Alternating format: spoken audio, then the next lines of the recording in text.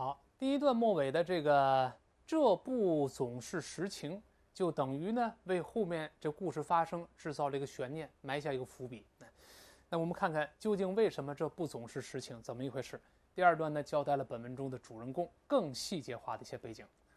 第二段第一句话说：“A famous actor in a highly successful play was once cast in the role of an aristocrat who had been imprisoned in the Bastille for twenty years。”这句话也是稍微长一些，咱们看看语法成分的分析。这个前面这个白颜色其实还是句子的主句了，来。一个著名的演员，在一个非常成功的一句戏一部戏剧里面呢，曾经呢出演过这么一个贵族的角色。你看，出演过某一个角色，他用的是动词 cast。老师在单词里边已经讲过了，这个 cast 呢搭配叫 be cast in the role of，这是搭配之一。我们也可以把它改成 be cast，后面加介词 s 也行，对吧？单词中讲了。然后扮演什么贵族呢？这贵族后面 who 引导的明显是定语从句修饰这个贵族 aristocrat，当然英国人读成 aristocrat 都行啊。这贵族怎么样？他被关在巴士底狱里边已经二十年之久了，for twenty years，明显是定语从句的时间状语。这个是被关押这状态是延续了二十年了，关了二十年之久的一位贵族。这是语法成分分析。下面我们看看这个一个小细节，就是二十一课之日的复习。在这出现了一个 highly successful，非常成功的。你看，咱们说过，非常成功的地道的用法，却很少用 very successful，而精通 highly successful 来的更加庄严和正式。这个地方这么用，咱们再回顾，在一百零六页二十一课的第十八行，一百零六页第十八行，highly successful 当时出现过一个 highly successful academy，成立了一个非常成功的一个拳击学校，甚至拜伦勋爵都成了他的一个弟子，还记得吗？也是非常成功。这个表达怎么可以借鉴啊？还有刚才说被指派扮演了一个贵族的角色，be cast in a role of。我们讲过，这个地方也可以替换。先复习，这个 cast 可以把它变成 be cast as，扮演这个角色也行。那如果这当然 cast 用被动了，因为它是指派某人扮演呢，他做主语用被动。咱还有那主动结构怎么说？扮演某个角色，那三个动词，play、perform、act 都行，对吧？Once performed 或者 played。或者 acted the role of 或者 the part of an aristocrat，或者干脆把 the role of the part 去掉，直接是 once performed an aristocrat 或者 played acted an aristocrat 都可以。这是主动结构，就扮演。这个会了之后，第一方面我们阅读，你说什么都看得懂；二来写作中我跟自己不会重复了，写作是忌讳雷同的。然后后面说呢，这个贵贵族怎么样？Who had been imprisoned 被关到监狱里面？In the Bastille 就法国的巴士底狱。已经二十年之久了。这个 be imprisoned 是可以延续的动作，入狱的状态延续了二十年是可以的。当然可以换成好多词，咱们词汇中讲过的做复习，可以用 had been jailed，jail 两个拼写都行。第一个是美式的，第二个是英式的，咱们说过的。For twenty years 被关了二十年可以。我 had been incarcerated，incarcerate 咱们也讲过，也是使入狱用被动的，后面也可以加 for twenty years，或者干脆这么说，had been locked up。已经被关起来了，已经二十年之久了。Be locked up 也可以表示延续的状态，被关押这个状态。但是，那个 send to put in 这搭配在这用就不好了。Had been sent to prison 或 had been put in prison，为什么呢？这么搭配本身正确，但别忘记后面有时间状语 for twenty years，这个就有问题了。为什么呢？因为这个 send 还有 put 这个动词本身是不可延续的，它是个瞬间动作，被送到监狱里边了。被关进监狱里边了，这个送到那里关进监狱这个动作，它不能延续二十年呢。如果后面说 for twenty years，那就很搞笑了。这个人被送到监狱，哎呀，这个路途遥远呐，我们过了二十年还没到，还在路上呢，这不可能了。所以这个不可延续动作前面属于被关押这个状态，这是可延续的。注意这个在写作中，咱们呃英语中要求比中文要高一些，细节复杂。好了，那交代本文主人公是一个著名的演员啊。这个他大概在发生在是这这个哪一个场景之下呢？大概交代了这个发生的这个场景是这么一部戏啊，非常成功的戏。而这成功戏的哪一个情节呢？呃，这个这个第二段第二句话交代的更清晰。咱们看，In the last act, a jailer would always come on to the stage with a letter which he would hand to the prisoner。咱们还是看看语法分析。In the last act，这个 act 叫戏剧的幕。在最后一幕中，这是一个时间状语。然后这个白颜色还是句子主干了，一个 jailer 就狱卒看守了。那么他总会怎么样呢？总会到他台上来。这个 would 这不是推测了，would 咱们以前说过，相当于 used to do，就过去常常，过去曾经，过去常常，哎，就会呢到台上来之后怎么样呢？然后后面这个黄颜色的明显是一个伴随状语，拿着一封信，然后呢上台之后把这封信再交给这个囚犯的这么一封信啊，with a letter，一直到句末黄颜色是个伴随状语，上台同时拿着一封信，然后这伴随状语里面嵌套着一个 which 引导的定语从句，修饰这个信，什么信呢？就一会儿他要把它交给。这个这个这个囚犯做一个交代，这封信是干嘛的？好，这是这个语法成分分析。下面咱看看细节细节。第一个就看一看这个 act，在这儿它表示目，戏剧一个重要的单位，它分成多少幕？还有一个词经常跟它同时出现，就是场。一个戏剧分多少幕？一幕又分多少场？这个场就 scene，用情景这个词就好了。看一个简单例子：It happens in Hamlet。Act Three, Scene One，这个情景发生在《哈姆雷特》之中第三幕的第一场。你看，这是幕和场，这是作为术语，咱们知道就好了。本文中的 last 就在最后一幕中嘛，就 in 表示在什么什么过程之中，是个时间状语啊。一个幕，这个一个这个这个狱卒呢，总是会到台上来。这 come on 是个意思特别多的短语，在本文中是表示登台露面的意思。上台了，登台露面。这一般是演员上台，哎，这个我们看例子，There was great applause when the Russian ballerina came on。当这个俄罗斯的芭蕾舞演员上台之后，台下响起了热烈的掌声，有非常巨大的掌声。当他上台之后，我们顺便可以读一下芭蕾舞演员这个词，慢慢来，ballerina，ballerina，芭蕾舞演员，Russian 当然是俄，当然是俄俄罗斯的，对吧？上台 came on，上台之后，哎，台下掌声雷动，可以这么来说。这是表示登台露面，上台可以用它。上台还可以用另外一个词也行，也是与观众见面，直接可以用动词 appear，就出现这个词也行，appear 也可以表示上台。来，你看本文中也做替换了，你不信往后找，你看第十二行，一百一十页，我们第十二行末尾，Just then the jailer appeared with the precious letters in his hands。就在那时，狱卒上台了，还拿着那封宝贵的信。appear 也能指上台。那。那么这两个词呢，我们看到，当然既可以表示这个这个这个这个呃这个演员的上台，有的时候也可以表示运动员登台露面，运动员上场跟观众见面也可以。这两个词都有这个意思。你看，He scored only two minutes after he'd come on。他的仅仅上场两分钟之后就破门得分了。这 come on 是上场跟观众见面，在上面呢是上台跟观众见面，是类似的，都可以用它。当然，这个 come on 还有好多好多含义。我们以前说过，come on 可以表示催促对方快点、快点、快过来嘛。come on，come on，come on，come on，快点嘛。对，两个人打架的时候，你过来，过来，小子，过来，过来。Come on，come on，come on，come on，come on，哎，用它就行。但老师说了，不要读 come on，不是 on 啊，舌根不能动，哎，是 come on，on，还是发啊，舌头是平的。跟老师大声读下，come on，come on，不是 come on，舌根不能动。哎，你看，我们再换一个含义，就听得更清晰了。我们说得了吧，少来了，哪有这个事儿啊？李老师讲过一次，看大家还记还还记不记？得？一个人说，你知道吗？我们介绍王二婶四个脑袋。我说得了吧，四个脑袋早死了。那我说 Come on，你看拉长之后听得更清了吧？舌根不动，我们大家体会一下，Come on，哎，得了吧，得了吧，拉长，你看是这么一个声音。嗯，这个你要舌根动憋死，Come on，呃，死了，这喘不上气儿了。哎，手根不能动。哎，还有一个意思表示对方，咱们还记得吗？说的太过分的、太离奇的话，我们说得了吧，瞎说、胡说，生气了。老外这么说，Come on，Come on。哎，你语气跟中文也类似，中文那得了吧，他们叫 Come on。中国人生气，哎，老外也生气，老外也生气说 Come on。中国人一生气说 Come on。哎，好像真差不太多。啊，Come on，Come on。哎，注意舌根不能动啊！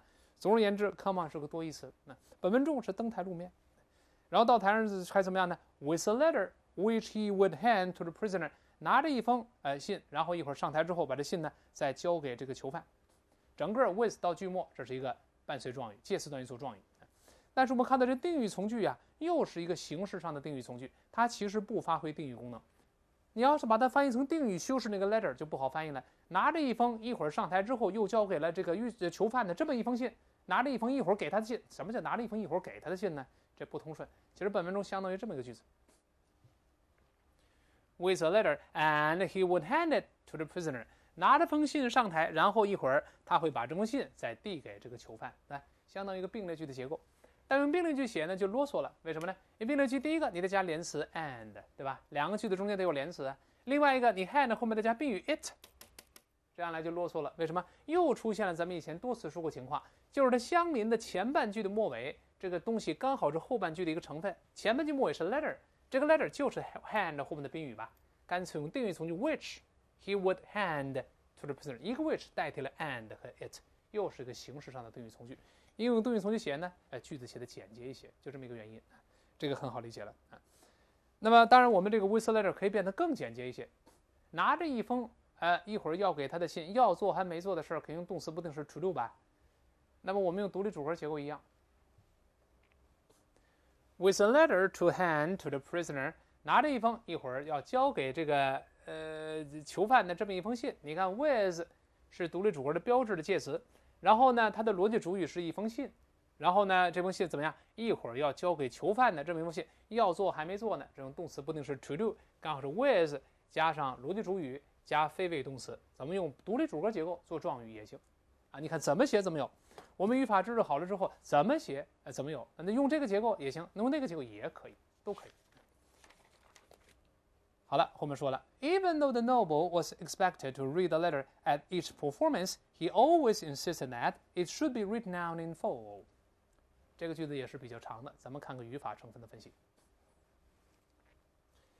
这个逗号前面这前两行黄颜色的，明显是 even though 引导的一个让步状语从句。我问大家，even though 翻译成什么？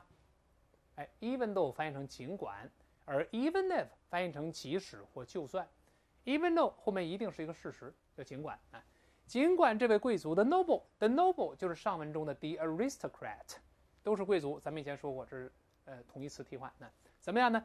他应该每次演出啊，都把信读一遍。Be expected to do 叫应该做模式，不是被被预期到、被预料到，是应该啊。这个结构咱们一会儿会说。那白颜色的其实是句子主干，He always insisted，他总是坚持要求，这是句子主干结构。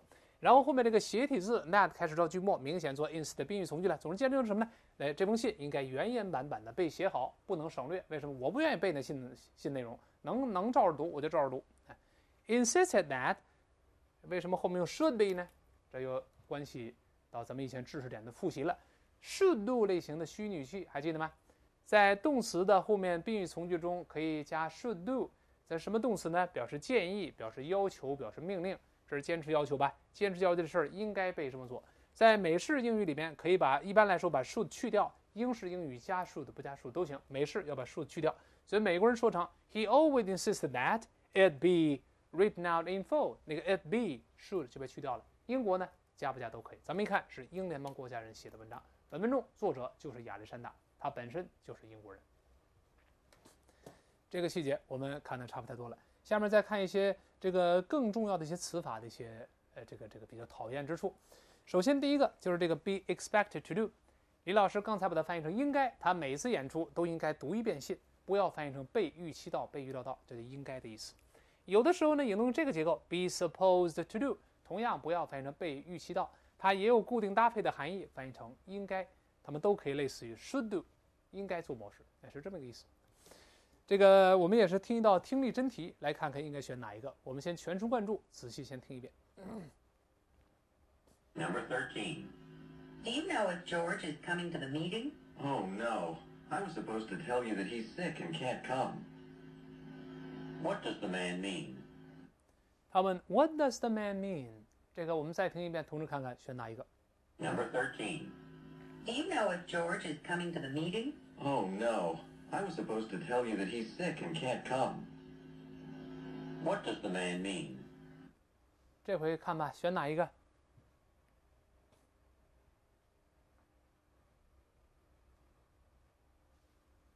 好了，正确答案是 D 选项比较好选。He forgot to deliver a message。他忘记给别人传递一个口信儿了。为什么呢？咱们看个原文，再仔细看一看啊。Number 13. Do you know if George is coming to the meeting? Oh no. I was supposed to tell you that he's sick and can't come. What does the man mean? 第一个女的说：“Do you know if George is coming to the meeting？” 你知道乔治今天会来参加会议吗？第二男的说：“哎呦，坏了，我本该告诉你的，他病了，今天来不了。你看我这脑子，忘了。”Oh no！这个 no 注意不要翻成不，咱中国人不这么讲话。哦不不什么不啊？咱不说不，就是哎呦真糟糕，哎呦坏了，就这么一个意思啊。I was supposed to do，be supposed to do 应该。那 I was 呢？一般过去时呢，就本来应该，刚才就应该，对吧？我本该告诉你的，他病了，今天来不了了。那这男的是什么意思呢？当然他忘记了给别人传一个口信了，选 D 啊。Be supposed to do 就应该做模式，跟 be expect to do 可以同时记住，有异曲同工之妙。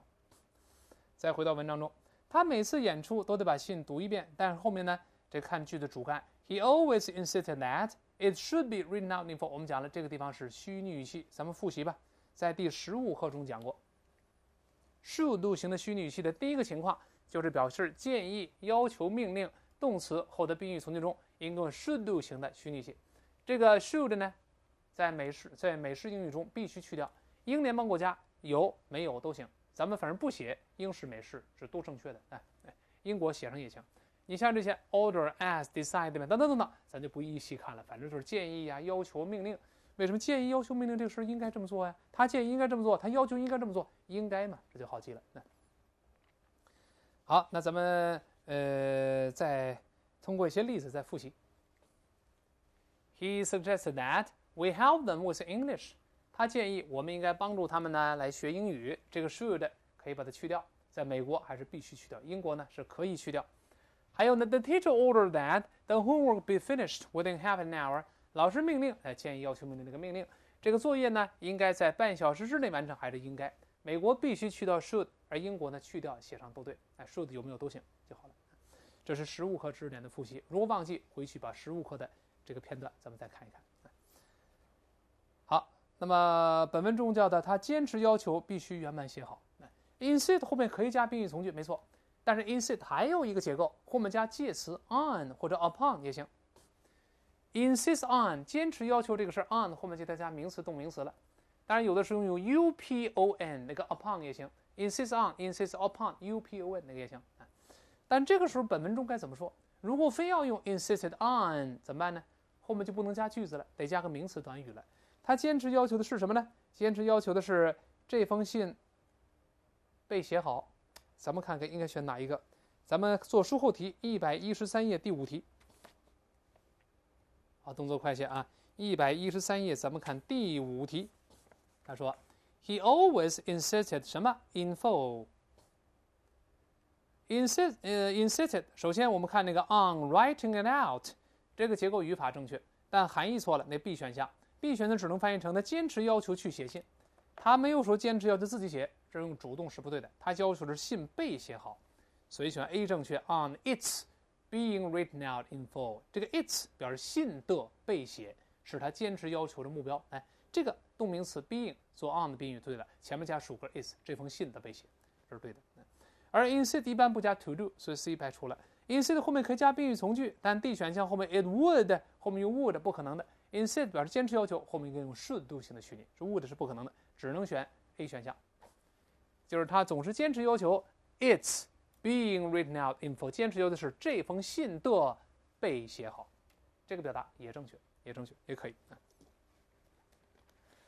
好了，这是我们看到第二段，就大概介绍了这个更细节化的背景，就本文中的主人公。另外，他呢，这个大概发生在哪个情况下？这是戏剧的最后一幕，这个里面哎有这么一个情景。好了，这个第二段我们跟老师看到这儿，第三段更加精彩，陈述了故事整个的发展和最后高潮。咱们第三段再接着来看这篇文章。第二段先看到这儿。